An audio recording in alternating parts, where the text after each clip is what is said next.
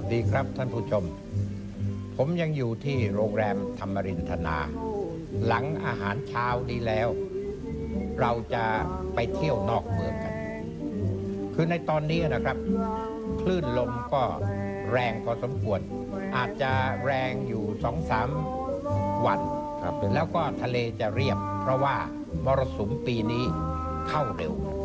ตามธรรมดาแรมหนึ่งค่ำเดือนหกใน ปีนี้จะตรงกับวันที่ 30 เมษายน แต่มันเข้ามาเร็ว ก็เลยทำให้มีฝน ทะเลมีคลื่นแรง เราก็จะหาโอกาสเหมาะๆลงไปเที่ยวทะเล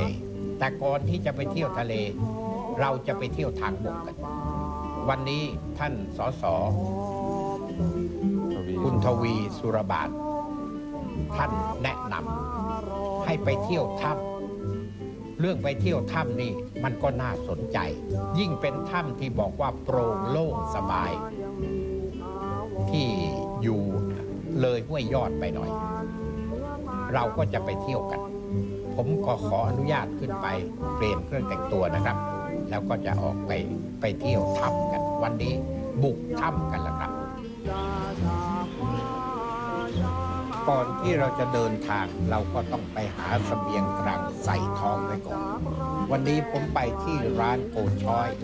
ซึ่งชื่อจริงก็คือ คุณช้อยวอกไวยยุทธอยู่ที่ถนนรักจันทร์ในเมืองตรังนั่นแหละนะครับ เราต้องไปทางกระพังสุรินทร์แล้วก็พอถึงสามแยกก็จะเลี้ยวเข้าถนนรักจันทร์ที่นี่มีบะหมี่ซึ่งโกช้อยทำเองครับ ใช้ไม้ไผ่ขยมครับ แล้วก็แผ่ออกไป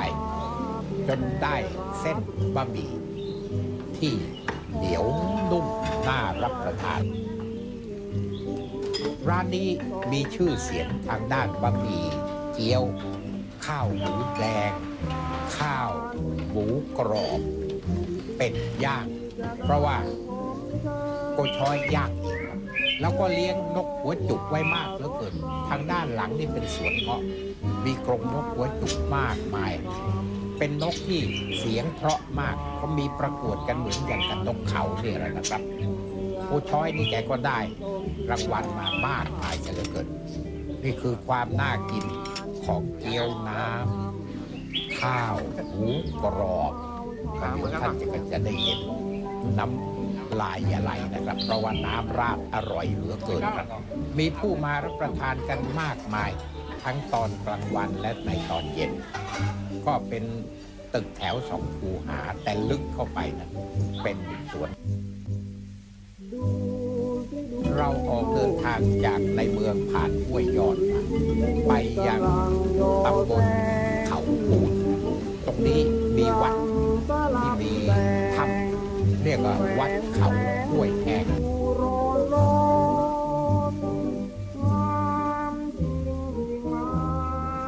นี้ผมขอพาท่านมาอย่างที่ท่องเที่ยวแห่งใหม่ ซึ่งโดยความกรุณาของท่านสสทวี สุรบาท ได้พามาที่ตำบลเขาปูน ที่ตรงนี้นะครับมีถ้ำอยู่สองถ้ำด้วยกันใช่ไหมครับ ทั้งหมดสามถ้ำด้วยกัน ที่ท่านได้มองเห็นข้างหลังนั่นคือปากถ้ำแรก บาดาลครับทำบาดาลท่านเจ้าอาวาดท่านได้บอกให้เราทราบว่าที่ตรงนี้เรียกว่าถ้ำบาดาลนะฮะก็จะได้เข้าไปดูกันข้างใน เพราะว่าเป็นถ้ำที่โปร่งนะฮะโปร่งครับโปร่งครับอ่ามีสามารถเอารถมอเตอร์ไซค์เข้าไปวิ่งได้ถ้ำนี้นะครับเอา มอเตอร์ไซค์เข้าไปวิ่งได้ตลอดถ้ำเข้าไปเที่ยวตั้งที่เกียรเดินก็ขี่มอเตอร์ไซค์เที่ยวได้ครับแต่อยากได้สักคันละคันหนึ่งมือครับมืออ่าถ้าโยมไปเอามาสักคันหนึ่ง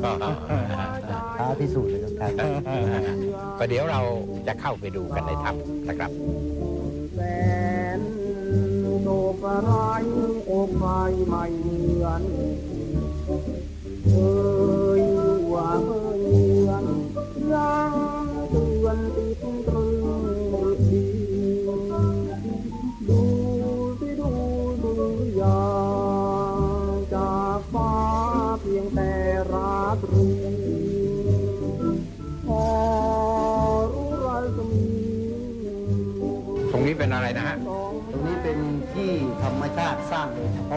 สำหรับให้พระนั่งทำพิธีกรรมต่างๆนะครับ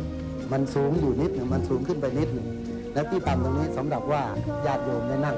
ครับ นี่คือธรรมชาติสร้างโดยเฉพาะครับคือไม่ต้องนั่งเสมอกับพพระระไม่ต้องนั่งเสมอกับพระครับนี่ยกพื้นขึ้นมาเลยทีครับเดียวยกพื้นขึ้นมาเลยครับโดยธรรมชาติธรรมชาติสร้างเองครับเนี่ยธรรมชาติสร้างเองเราเข้าไปดูข้างในครับรักอะไรก็ลิ้นชมทีหวานฉ่ำหวาน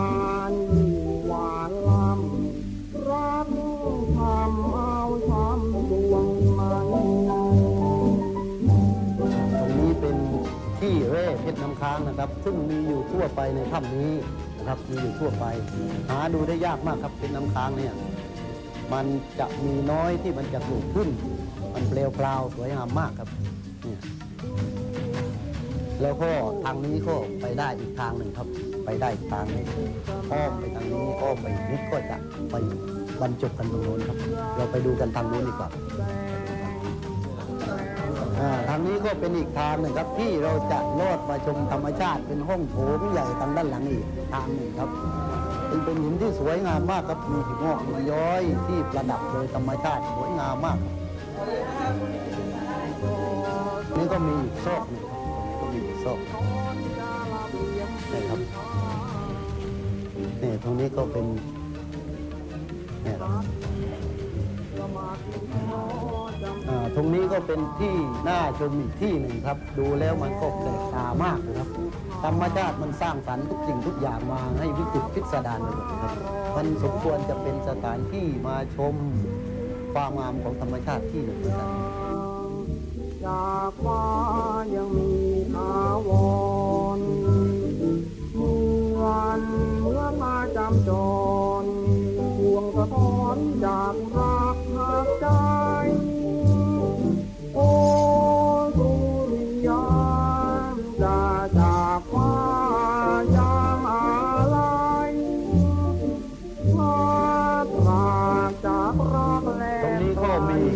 กที่หนึงครับที่ระดับเพชรน้ำค้างไว้อย่างมาก ตรงนี้ถ้าเราดูให้ดีเหมือนกับน้ำตกมาเลยครับ เหมือนกับน้ำตกลงมาเป็นชั้นๆนะครับ ลงมาเป็นชั้นๆแล้วก็ประดับด้วยเพชรน้ำค้างน่าดูน่าชมมากครับเอ่ยว่าเอ่ยเยือน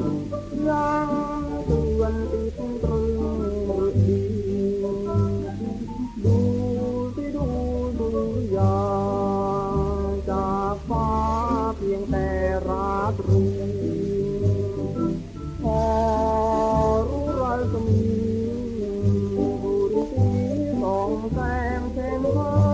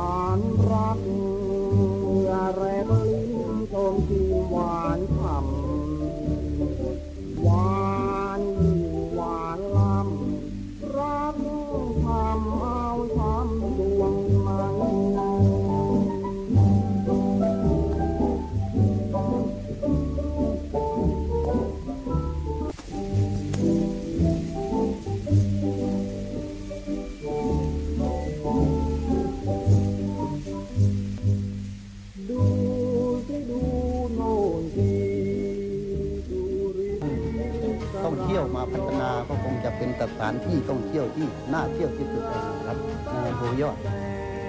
ทางนี้ขึ้นไปออกพระประธานได้เลยครับ ขึ้นไปลุกทะลุไปหลังพระประธานเลย เราออกจากถ้ำแรกไปยังอีกถ้ำหนึ่ง ซึ่งผ่านห้วยแห้ง ซึ่งหน้าน้ำมีน้ำขังนะครับ ทางขวามือเราเดินไปสักหน่อย เราก็จะถึงปากถ้ำซึ่งเดิมเรียกว่าถ้ำพญานาค เพราะว่ามีหินย้อยเหมือนกับรูปพญานาค ผมเห็นจะเข้าไปไม่ได้หรอกครับ ต้องปล่อยให้ท่านธนงศักดิ์กัลยาโนเป็นไกด์เพราะว่าปากถ้ำเนี่ยมันเตี้ย แล้วก็ผมเข้าไป ก็เห็นจะต้องลำบากแน่ คงจะบาดเจ็บกลับมาอย่างแน่นอน เพราะฉะนั้นขออยู่ปากถ้ำครับ วันเมื่อมาจำจรทวงสะท้อนจากรักหักใจโอ้สุริยามจะจากฟ้ายามอะไรเนี่ยครับคือที่มาของถ้ำนาคาราชนะครับ เพราะว่าได้เข้ามาสำรวจแล้วก็ตอนนั้นก็ยังไม่มีชื่อถ้ำครับพอมาสำรวจเจอหินเนี่ยมันเป็นหินแท้ๆครับไม่ใช่ดินนะ เป็นหินไม่ได้ตกไม่ได้แต่งธรรมชาติเป็นเองโดยเฉพาะ ก็ดูแล้วคล้ายๆคลาเหมือนกับหัวพญานาคหรือว่าเสียนพญานาค ก็เลยเอาไปตั้งชื่อว่าถ้ำนาคาราชนะครับ ตามที่เห็นนี่แหละครับ ไม่ได้ตกไม่ได้แต่งอะไรเลย เป็นขึ้นมาเองโดยธรรมชาติที่ดูดุริยางค์จากฟ้าเพียงแต่ราตรีตรงนี้ก็เป็นอีกที่หนึงครับที่แปลกและก็พิสดารมากครับหินหอกหินย้อย ดูวิจิตรพิสดารมากครับ พิสดารมากเลยเนี่ยน่าเข้ามาดูน่าเข้ามาชมมากเลยครับ แต่ว่าเราต้องพัฒนาไปอีกมากกว่านี้เยอะ ต้องใช้งบประมาณอีกเยอะ ก็หวังว่าทางองค์การอสมทหรือว่าตททอะไรเนี่ยผมก็ไม่ค่อยชำนาญนะครับ เข้ามาช่วยพัฒนาก็คงจะเป็นรูปธรรมขึ้นหรือว่าดีขึ้น คงจะเป็นสถานที่ท่องเที่ยว ที่หนึ่งหรือว่าที่พักผ่อนหย่อนใจที่หนึ่งในอำเภอพยอดของเรานะครับ เราออกจากถ้ำนี้ แล้วก็เดินขึ้นไปทางเนินเขาข้างบน ซึ่งมีศาลาใหญ่ มีพระประธานประดิษฐานอยู่ที่นั่นที่ตรงนี้แหละครับที่มีเด็กลอดออกมาจากโพรงข้างในเข้ามาสู่ที่นี่ที่วัดเขาห้วยแห้งเนี่ยนอกจาก จะมีถ้ำที่สวยงามแล้วนะครับ ยังถือได้ว่าเป็นอุทยานของพึ่งด้วยพึ่งจะมาทำรังอยู่ตามผาหินที่ตรงมีหลืมซึ่งท่านจะมองเห็นดำๆนั่นแหละครับพึ่งมาตลอดเลยทีเดียว ท่านธนงศักดิ์ท่านบอกว่า ตั้งแต่ท่านมาอยู่ที่วัดนี้ ท่านก็ไม่ให้ใครไปรบกวนก็เลยจะมีพึ่งมาอยู่โดยตลอด นี่ก็คือกล้วยเขาเรียกว่ากล้วยอ้วงเอาแล้วนะครับ วันนี้เราจะออกจากถ้ำที่วัดเขาห้วยแห้งไปต่อยังอำเภอรัศดาละหมาดพอจำปีจำปาเราออกเดินทางจากวัดเขาห้วยแห้งมายังที่อำเภอรัศดา เพื่อจะไปยังถ้ำวัง ระยาพิชัยสงคราม ผมก็ไม่ทราบว่าพระยาพิชัยสงครามนี้มาจากไหน แต่ที่เรียกว่าวังนั้นก็คือวังน้ำนะครับ เป็นพวกวังปลาวังกุ้งเป็นวังน้ำใหญ่ใกล้ๆวังบัวบานถนนที่แยกจากถนนใหญ่เข้าไปนั้นธุรกันดารพอสมควร เพราะว่าทั้งลง แล้วก็ชันขึ้น ประกอบกับในตอนนั้นมีฝนตกลงมา ก่อนหน้าเราจะเข้าไป ก็ทำให้ถนนลื่นได้แฉะสองข้างทางนั้นเป็นป่ายาง เป็นสวนยาง แต่ไม่อับไม่ชื้นอะไรหรอกท่านก็เห็นอยู่แล้ว วันนี้เราได้ไกด์เป็นตำรวจที่มาจากอำเภอรัศดาครับ สุดทางแต่เพียงเท่านี้ ท่านจะมองเห็นวังน้ำลึกกว้างอยู่ทางด้านหนึ่งอยู่ตรงปากถ้ำในถ้ำนี้มีน้ำที่ไหลออกมาจากถ้ำคล้ายๆสระโบกขอรดี ที่จังหวัดกระบี่แต่ที่นี่ธุรกันดารมากเหรือเกินแง่หินคมๆ แล้วก็ท่านลองนึกดูสิครับ ว่าคนที่อายุเป็นวัยรุ่นแย้มฝาโลงอย่างผมเนี่ยจะเข้าไปไหวหรือมองเห็นปากถ้ำอยู่แค่นั้น ผมไปไม่ได้ หยุดอยู่แค่นี้นะครับ ก็ชมความงามของถ้ำซึ่งมีน้ำเจิงไหลออกมา ไม่ขาดสาย อยู่ตรงปากถ้ำ ส่วนคนที่เขามีกำลังวังชา โดยเฉพาะเด็กๆเขาห้อยโหนเถาวันลงมาครับนี่สภาพของถ้ำวังพระยาพิชัยสงคราม ผมได้ทราบมาว่าทางด้านปลัดอบตหนองปลือ คือปลัดสิงสยามมุกดา นะแล้วก็มีคุณปรีชาทองอ่อน ซึ่งเป็นเลขานุการของคุณทวีสุรบาลสสพักประชาธิปัตย์จังหวัดตรังได้ร่วมเดินทางมากับเราด้วยนะครับ ที่ตรงนี้ถ้าเป็นเวลาตอนกลางวัน เราจะไปปิกนิกตรงนี้ก็น่าจะเป็นที่สวยงามและร่มรื่น น้ำไหลออกมาจากในถ้ำเสียงสู้ซ่ามาโดยตลอดเลยทีเดียวครับนี่ก็เป็นชะง่อนหินที่โดนน้ำหยดมาโดยตลอด แล้วก็มีรถไฟอยู่ เป็นรถไฟสายพิเศษรถตีนมันมากเลยเกินครับ ผมมองดูแล้วมันสวยงามดีก็เลยถ่ายมาให้เห็น ที่ตรงนี้มีสปริงบอร์ดสำหรับกระโดดครับก็มีเด็กที่นั่นแหละครับ เขาถือเอาว่าที่ตรงนี้เป็นสระว่ายน้ำเหมือนอย่างกับในกรุงเทพตูมเด็กนี่ว่ายเก่งคนนี้แหละครับห้อยโหนเถาวันลงมาทีแรกผมนึกว่าลิง แต่ที่จริงกลายเป็นเด็กที่อยู่ที่ตรงแถวแถวปากถ้ำ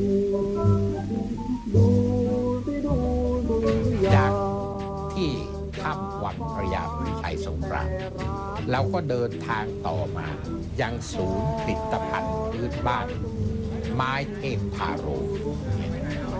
ไม้เทพทาโรนี้อยู่ที่ตำบลหนองปลือนะครับ เป็นไม้หอม ชาวบ้านเรียกว่าจวงหอม แล้วก็มีผู้ที่แกะสลัก โดยใช้อุปกรณ์แกะสลักตามแบบเก่าแก่ไม่ได้ใช้เครื่องรุนแรงอะไร แต่ด้วยฝีมือที่เฉียบขาด ก็สามารถที่จะทำให้ไม้จวงหอมหรือไม้เทพาโรเนี่ยแกะออกมาเป็นรูปอย่างเช่นเจ้าแม่กวนอิมที่ผมกำลังถืออยู่มีรูปปลาพยูนซึ่งเป็นสัญลักษณ์ของจังหวัดตรังมีทั้งพยูนใหญ่พยูนเล็กนะครับ นี่ขนาดพยูนใหญ่เลยทีเดียว ก็ได้มาจากไม้เทพทาโรซึ่งเป็นไม้หอม อยู่ใต้ดิน จะอยู่ที่ใต้พื้นที่ซึ่งเป็นสวนยางชาวบ้านก็เอาขึ้นมา เป็นไม้ที่ธรรมชาติสร้างสรรค์เป็นศิลปะต่างๆนานาช่างแกะสลักนั้นก็จะแกะสลักต่อไม้นั้นเป็นรูปต่างๆ สิงสาราสัตว์ เป็นนกเป็นอะไรต่ออะไร เป็นต้นไม้ สวยงามครับ เห็นไหมครับ มีกลิ่นหอม เหมือนกระบุง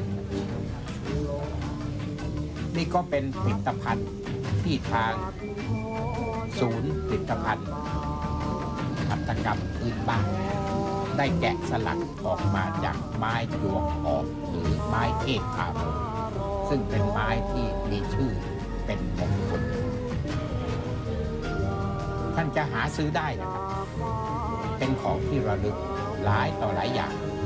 สำหรับผมนั้นติดอกติดใจเจ้าแม่กวนอิมไปคราวหลังนี้มีหวังจะต้องไป หาซื้อมาบูชาอย่างแน่นอน นี่คือหลวงพ่อคูณจำท่านได้นะครับจากไม้เทพทานี่ก็เป็น ที่ทำการชั่วคราว ซึ่งสสทวีสุรบาลได้ออกเงินสร้างขึ้นมา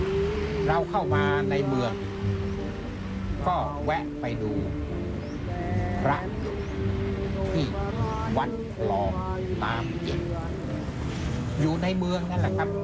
ถนนที่ผ่านจากบ้านแม่ทวดมารดาของท่านนายกทวดนนะครับ เป็นหยกสีเขียว ทั้งอก มีผู้บอกผมมาว่า ช่างที่แกะสลักนี้ เป็นช่างที่ประเทศกรีซแล้วก็แกะสลักพระพระพุทธรูปที่สวยงามมากเหลือเกิน เห็นแล้วรู้สึกประทับใจ แล้วเราก็ถือเป็นมงคลที่ได้ไปสักการะพระหยกที่จังหวัดตรังครับ พบกันใหม่คราวหน้าครับ สวัสดีครับ